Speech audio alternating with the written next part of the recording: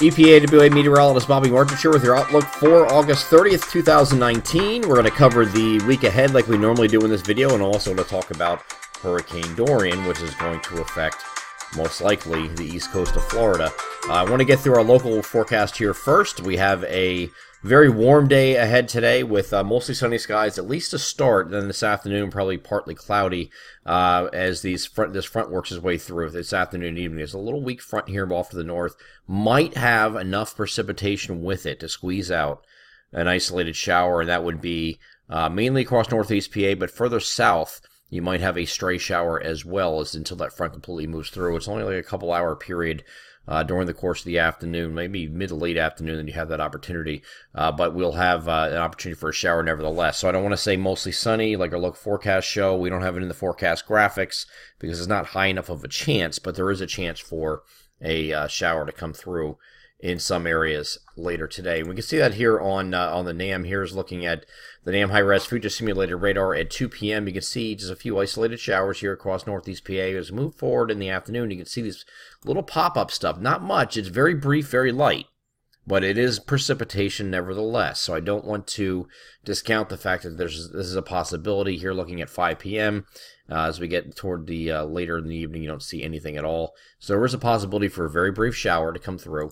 Not a real big deal, but I didn't want to say just hey, it's going to be mostly sunny today, no chance of precip because if you're going to get rain, you know, just for even for a brief time, it's still not mostly sunny. So, uh, just so you understand how that's going to work today, as we get into Saturday, this front is now clear. We're going to have temperatures back down a little bit. Today's in the mid upper 80s for highs, uh, north to south. And then when we get to uh, Saturday, we're in kind of 80, 82 ish, but lower humidity uh, on Saturday as well, partly cloudy skies. And then Sunday, uh, Sunday, we had in the local forecast, but in some areas, we had a chance for a late day shower or storm. It looks like the newer guidance here, this is using the GFS, is now suggesting it's going to keep stay west in western Pennsylvania. So we're not going to be dealing with it here on Sunday. It looks like just partly to mostly cloudy skies later in the day and no chance for precipitation at all. Okay, so we'll revisit this over the next couple of days, but it looks like the trend is that Sunday's going to be a dry day as well.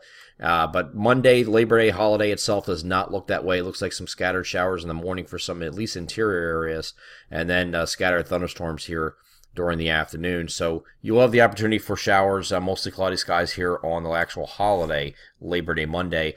But if you're going to have anything planned this weekend, I would plan it around, uh, you know, Friday, Saturday, Sunday versus Monday. Monday looks like the day that we will have a little bit of issues with uh, some any outdoor plans. Okay, so that's uh, once that goes through, we are partly cloudy here on Tuesday. Temperatures will remain warm and very warm here on Tuesday, or excuse me, Wednesday, ahead of this next frontal boundary, which will come through later in the day with an isolated scattered thunderstorms with this actual cold front that comes through. Ahead of it, you're going to have temperatures kind of mid to upper 80s and maybe even touching 90 down by Philadelphia for highs. Uh, Philadelphia metro area and southern interior southern New Jersey and Delaware. This cold front moves through overnight, and then we high pressure builds in behind it for Thursday, and we are mostly sunny. This right here, of course, is Dorian. This is actually post landfall. This is looking at next Thursday. Uh, there is an opportunity to get some uh, fringe effects from this. Let me get uh, move that ahead here. Some fringe effects from this uh, right along the coastal areas. We're going to watch this closely for any remnants this would be remnants at this point. Uh, it would be heading into maybe next Friday, Saturday time frame, uh, right along the coastline. So we'll watch this closely. Of course, the the uh, big concern of the last couple days everybody's talking about is Hurricane Dorian and what's it going to do. Now, the GFS, the reason I'm using this in the video uh, is for a good reason because we have uh, this is Hurricane Dorian sitting out here uh, Puerto Rico's here. Here's the Dominican Republic. It is well northwest of that. Still moving to the northwest at 12 miles per hour. This has been upgraded to a Category 2 with the 11, uh, 11 p.m. National Hurricane Center advisory, and it's only 10 miles per hour away from a major hurricane, which is a Category 3. All right, and the general idea here is this going to continue off to the northwest, and then it's going to eventually make a turn uh, toward the North Bahamas and head toward the Florida coastline, somewhere right about here. Now, I'm pointing right at Jupiter here.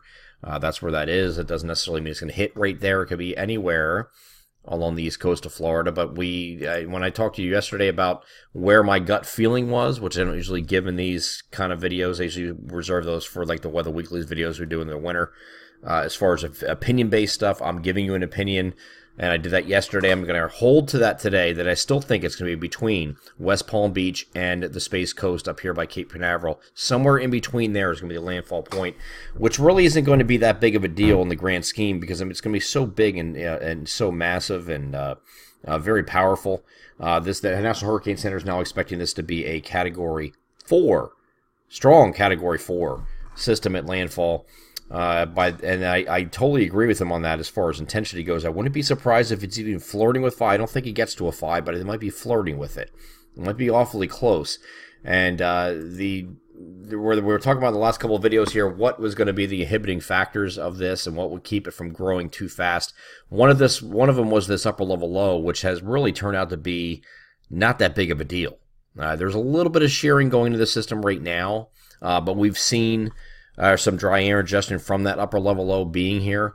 Uh, but we've seen the uh, the hurricane actually increase intensity from 90 miles per hour, the previous advisory, to 105 miles per hour.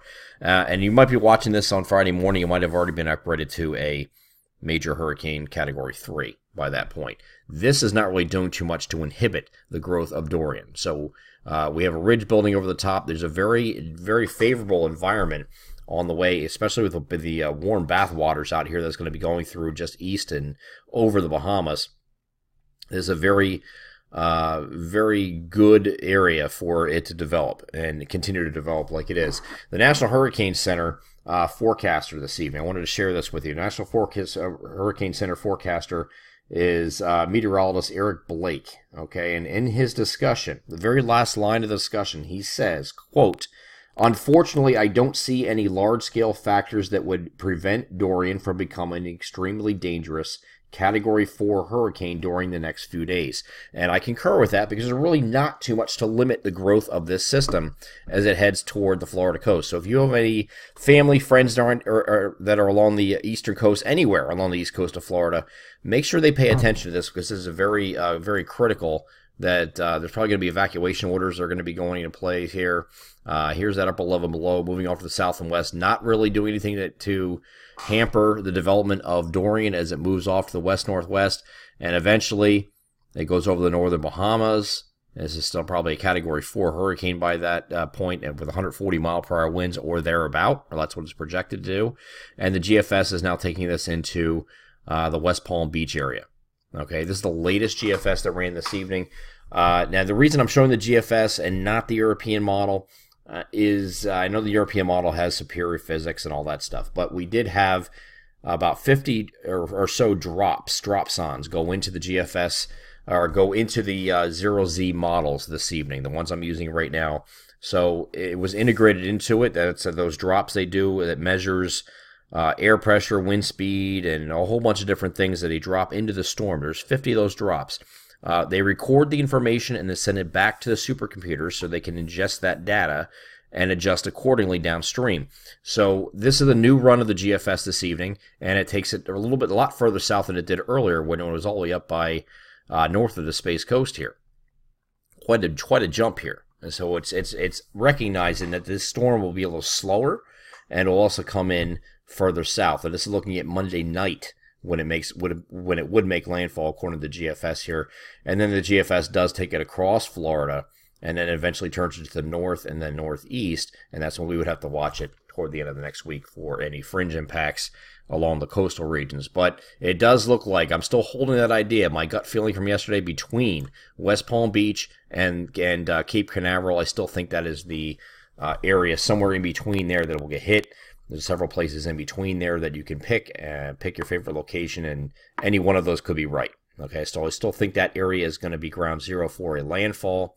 Uh, we still have some models that are a lot further north instead of being down here, like the GFS has it by West Palm Beach, which is right about here.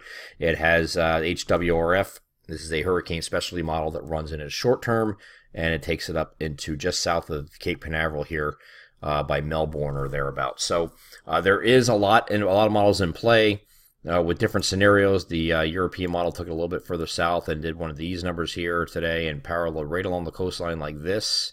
That was the European track. Uh, I didn't. I don't have the new overnight guidance that comes in about uh, two hours, but I didn't want to wait that long to produce the video. So a lot of different tracks here, a lot of different possibilities. I don't like the European track that that ran today. I still think it's going to be somewhere between West Palm Beach and uh, the Space Coast here, like uh, near Daytona Beach or Cape Canaveral, something like that. So uh, we'll continue to follow this in the next couple of days. We do have vested interest down here with our clients, so we, that's why we're spending so much time on this. Uh, but uh, it is a very strong hurricane already, Category Two.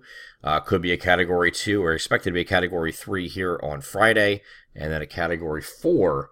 Uh, one might might be achieved already by Saturday. So we'll keep a close eye on this as it makes a close uh, a close approach here on the east coast of Florida and keep you updated with the next video, which is expected tomorrow.